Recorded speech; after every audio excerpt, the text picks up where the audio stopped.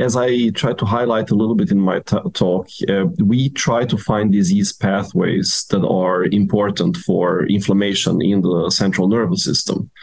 And we come from uh, using rat models to, to find these pathways. So this is work that goes back 20 plus years um, before we had genome-wide association studies uh, in humans or whole genome sequencing. So, um, so we the, these um, these discoveries, of course, they are now coming from the animal model into human. Nowadays, we maybe would try rather to go from human uh, discoveries into validation into animal models.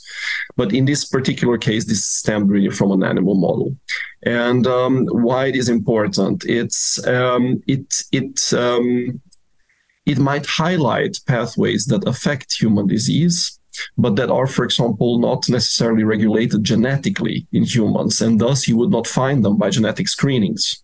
So we think that this complements a lot of the genetic screenings um, uh, nowadays um, in, in so revealing features that might make disease worse and that can also then be affected by uh, different types of interventions we used these complex rat crosses and found then one gene in a metabolic pathway that seemed differentially expressed in the rat, and that made uh, also the animal model for multiple sclerosis, the disease outcome in that animal model more severe.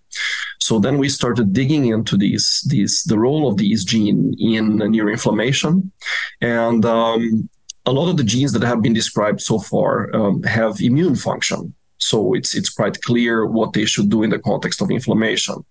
They uh, would uh, interfere in cy- cytokine production or cell migration, cell activation.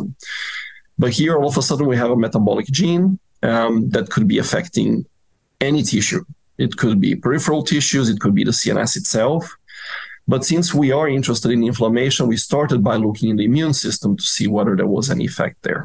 And uh, that's what we found. We found that in naive animals that are untouched by any procedures, they present with more memory T cells and effector T cells. They have also, which I did not show the, in the talk because they only had seven minutes, but they have also increased uh, B cell responses, especially as they age. So it seems that affecting this metabolic pathway leads to increased immune activation and we show that in the disease model that was the case. So we show that it affects, in my presentation, I only showed the phenotype on T cells. Uh, the phenotype uh, is broader, uh, and I, I will highlight that in the article that will come out of this.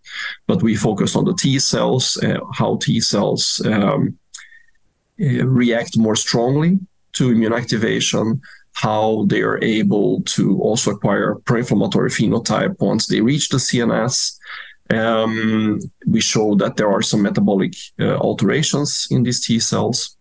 And we then also try to find where this metabolite is produced in the CNS. And we can show that astrocytes primarily overproduce it in a short time span during disease onset and that that production quickly wanes off, but probably it's sufficient to imbue the T cells with a, higher pro-inflammatory capacity.